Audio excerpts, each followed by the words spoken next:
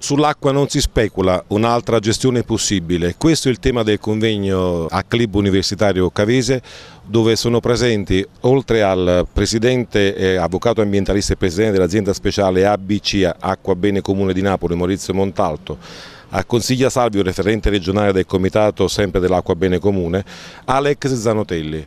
Eh, padre comboniano, eh, sempre in prima linea per quanto riguarda le battaglie degli ultimi, ma mai come in questo caso in prima linea per la battaglia sull'acqua. Come eh, molte persone sanno, molti comuni stanno affidando la gestione del, dell'acqua ad aziende eh, private o quantomeno a, a consorsi.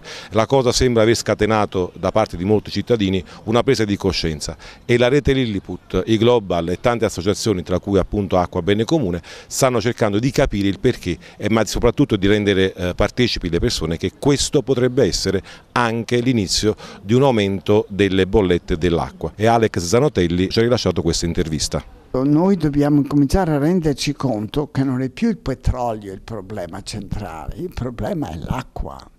Cioè, già il petrolio dovremmo lasciarlo dove se vogliamo salvarci altrimenti non ci salveremo più e, e, quindi non è più, beh non lo sarà anche se andiamo avanti a consumarlo, ne avremo al massimo per 30-40 anni, poi è finita. Senza petrolio possiamo vivere, senza acqua non si può vivere chi ne pagherà di più questo? Sempre i più poveri.